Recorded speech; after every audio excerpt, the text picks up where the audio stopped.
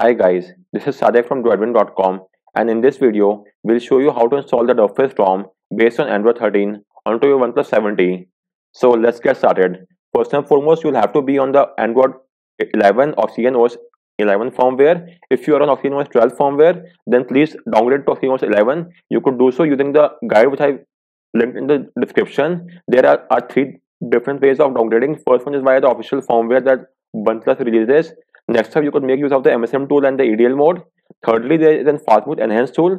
You could also downgrade using this tool as well.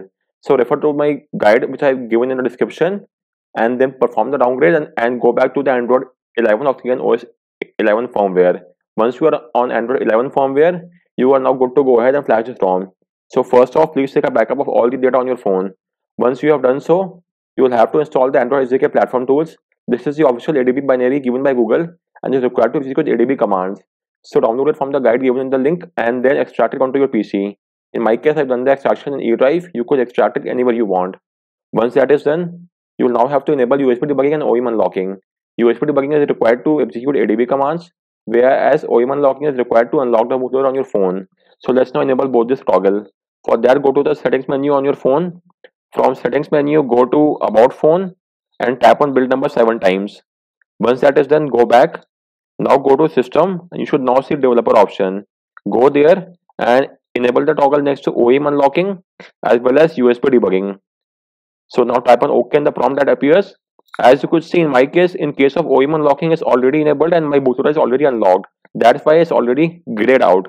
In your case it might not be grayed out if the bootloader is locked. So if the bootloader is unlocked it would be grayed out. Otherwise it should be as it is so make sure to enable both this toggle once that is done, let's now verify the ADB debugging connection. So go to the platform tools folder address bar, type in CMD and hit enter. This will launch the command prompt window with the platform tools folder directory as you could see. Now type in ADB devices and make sure your phone is showing a serial ID. If it is not showing any serial ID, then unplug and replug your phone to the PC, disable and re-enable USB debugging. Likewise, tap on revoke USB debugging or use the official USB cable and use the USB 2.0 port on your PC and not the 3.0 port. So carry out these USB tweaks and make sure you're getting a serial ID. Once you're getting this ID, you are now good to go ahead. Next up, you'll now have to grab hold of the ROM file. So let's first download the ROM and recovery file from the link given in the description. Download them and then transfer them to the platform tools folder. The GApps come inbuilt with the ROM. So no need to install GApps. Just download the ROM and recovery file. Once you've got hold of both this file, transfer them to the platform tools folder and just now rename it to something shorter for the sake of convenience. So let's rename the ROM file to simply ROM so that the complete name becomes rom.zip and in the case of recovery, let's simply rename it to recovery so that the complete name becomes recovery.img. It will now become easier to type in the CMD window. Once we have done this, we should now boot our phone to the fastboot mode and unlock the bootloader.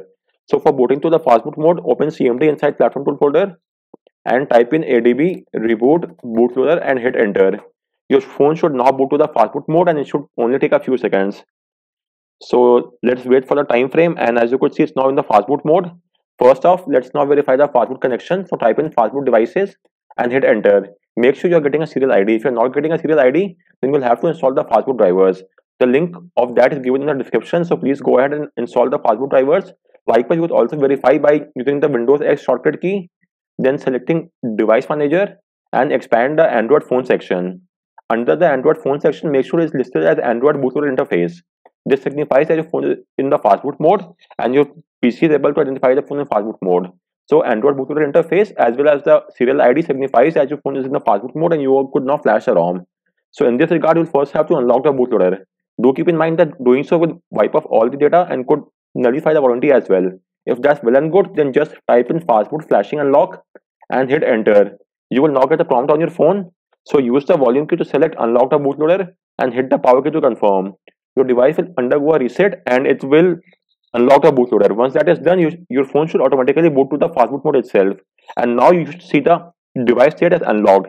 This signifies that the bootloader has been unlocked and now you are good to go ahead.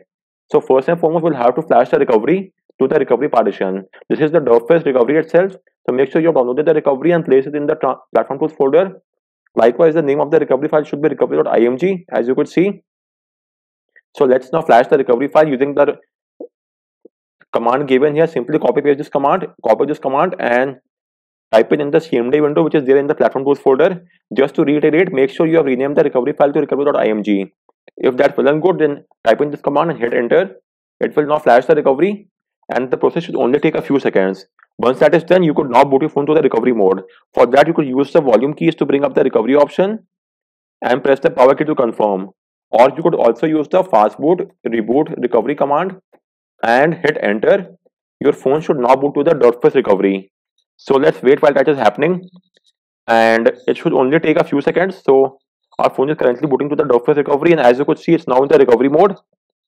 So now what you have to do is first and foremost you have to reset your phone so just to let me show you you first and foremost have to factory reset your phone. This will remove all the data from your device as well. So make sure you have made the backup beforehand. So now go to factory reset and select format data factory reset. Again select format data and your phone will undergo a reset and it should only take a few seconds. As you could see in the bottom left we are getting the data wipe complete message. So this signifies that the format is complete and you should now go back to the main screen and from here you should now install the DerpFest ROM via ADB sideload. So first and foremost go to apply update then select apply from ADB. Once that is done your phone is now in the ADB sideload mode. You could also verify the ADB sideload mode by going to the CMD window and type in ADB devices. This will show your device as sideload and this signifies that the phone is in the sideload mode. So let's now simply flash the ROM via the ADB sideload and then the name of the ROM file in our case is simply rom.zip. So type in rom.zip and hit enter. The sideload process will now begin and you should see it will first verify the update package and this process could take up to around 5 to 6 minutes. While that is going on, you could keep a track of the same from your phone as well and from the CMD window as well. In most cases in the CMD window, the process gets stuck at 47%. It's just a UI bug and nothing to worry about. So even if it gets stuck at 47% for around 5 to 6 minutes, you should leave it in that state and you should instead keep a track of the same from your phone itself. So I will show you that as well once it reaches the 47%. Apart from that, when the ADB side sideload process is complete, you would get a total transfer one into message. But that is not the only message that you could get. In some cases, you might get a few error as well. So this is the message that you usually get. But apart from that, you might also get these four ADB messages such as ADB failed to read command, no success, no error success, and 47% ADB as well as ADB failed to read command undefined error. So all these four messages also signifies that the process has been completed successfully. So if you get any of these five messages, there's nothing to worry about. All these five means the same, that the sideload has been successfully done and there's no cause of any concern.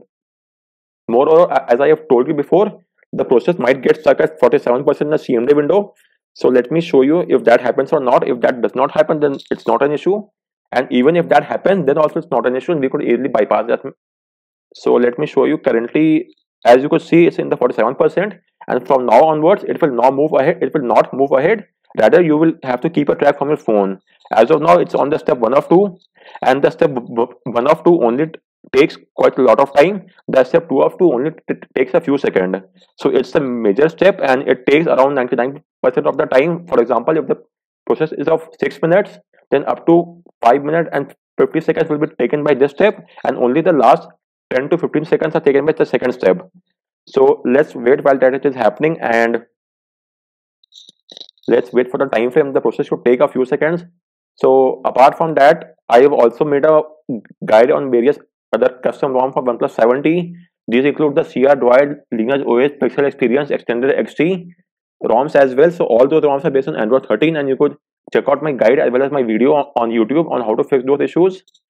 So let now check out the results. So as of now, it's currently still on step one of two. So let's wait for the time frame. And as I have told you before, this is the only ROM which is based on Oxygen OS 11 firmware. So I have read many places that all the ROMs that are based on all the Android 13 ROMs that are based on Oxygen OS 12 firmware have got a lot of bugs such as the auto brightness issues, fingerprint issues, issues with camera quality as well. But all the ROMs based on Android 13 which have which is based on the Android 11 firmware or Oxygen OS 11 firmware they do not have any issues as such and at the time of recording the DerpFest is the only ROM which houses the Oxygen OS 11 firmware but is based on Android 13. So if you're looking for a ROM that has the system files on of OS 11 and is based on Android 13, as of now this is the only ROM and it's the USP of this ROM that you need to be on Android 11 itself. There's no need to be on Android 12 and if by chance you're on Android 12 then you could downgrade using this guide. Anyways, as you could see the process is now complete and you, in the CMD window you should see the message as total transfer 1 and 2. Likewise on my phone you could see step 2 of 2 is completed.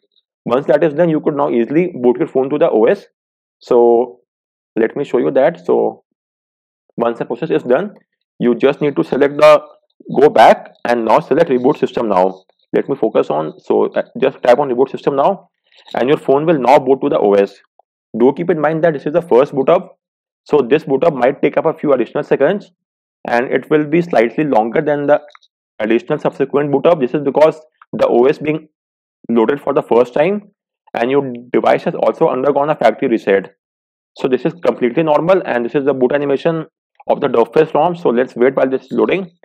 And as I, I have told you before the first boot up will take up a few additional seconds. Moreover the ROM comes inbuilt with GApps all the Google app packages. So it will also load the Google apps and services and framework. So this will also take up a few additional seconds. That is why the boot up will be a little bit slower as compared to Lineage OS which does not have the GApp package and all the other custom ROM that comes inbuilt with GApps such as the Pixel Experience ROM and all such ROMs usually take a few additional seconds to boot up. And moreover since we have just re reinstalled our phone so that, that is why it was longer. But as you could see the process has now been completed and we are in the DerpFest ROM.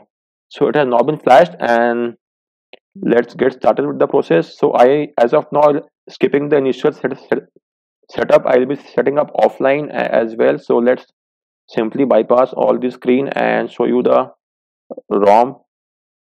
So since I am skipping the process it might be a faster boot up. So as you could see it has all the subsequent Google app packages as well. For example Gmail Google Photos Play Store. And this is the app drawer this is the home screen and this is the settings menu. As you could see let's now access the settings menu from here. And this is the system page and this is the DerpFest updater. It's the latest Android 13 version as you could see from here and you could download and install the subsequent OTA updates from this page itself. No need to do ATB tour every time. Apart from that, it has a few additional sections such as the USB configuration is given right here itself. In stock ROM, it's under developer option, but in this case, it's right there in the system, which is definitely quite a good move. Then it has some OnePlus settings page as well. Then apart from that, let's check out what else does it have. So derp space it's the usp of this rom. It's the specific rom features up from battery settings to clock date settings status bar items traffic indicators miscellaneous tweaks as well. So it does have a few additional tweaks and apart from that it has notification quick settings lock screen ui ambient always on display and some other customization as well as the pulse. So you could try out these tweaks onto your device and so guys with that we round off this video. If you have any queries do let me know in the comment section. And please like this video and subscribe to the channel for more tips and tricks. Thanks a lot for watching